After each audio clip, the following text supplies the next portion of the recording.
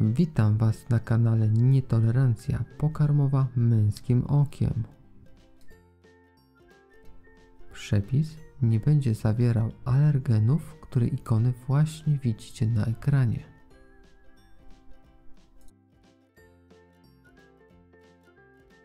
Podczas dzisiejszego wspólnego kuchcenia pokażę Wam przepis na bezglutenowe podpomyki. Zapraszam do oglądania.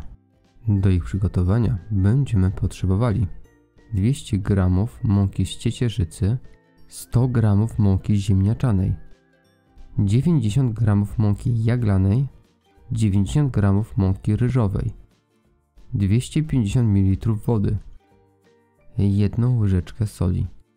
Do miski wsypujemy mąkę z ciecierzycy, mąkę ryżową, mąkę jaglaną, mąkę ziemniaczaną oraz sól. I całość mieszamy. Następnie stopniowo wlewamy wodę i całość mieszamy, ugniatamy, aż uzyskamy jednolitą masę.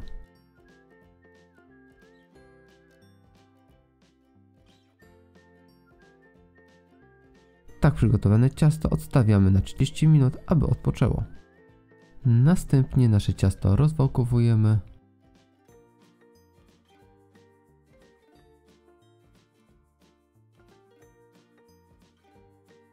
Przy użyciu np. szklanki wycinamy nasze podpomyki.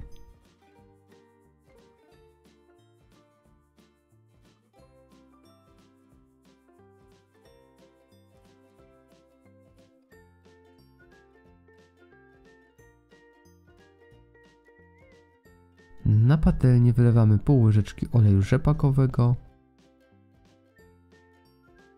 i rozprowadzamy go przy użyciu ręcznika papierowego. I rozgrywamy patelnię, na której układamy nasze podpomyki. I tak prezentują się nasze podpomyki. Życzę wszystkim smacznego. Jeśli wypróbowaliście przepis i spodobał się Wam, wyrzućcie zdjęcie na Facebooka lub Instagrama z oznaczeniem mojego profilu. Dzięki temu będę mógł zobaczyć efekty Waszego kuchcenia. Podczas kolejnego wspólnego kuchcenia pokażę Wam przepis na bezglutenowe zapiekanki na chlebie jaglanym, bez użycia nabiału. Zapraszam do oglądania.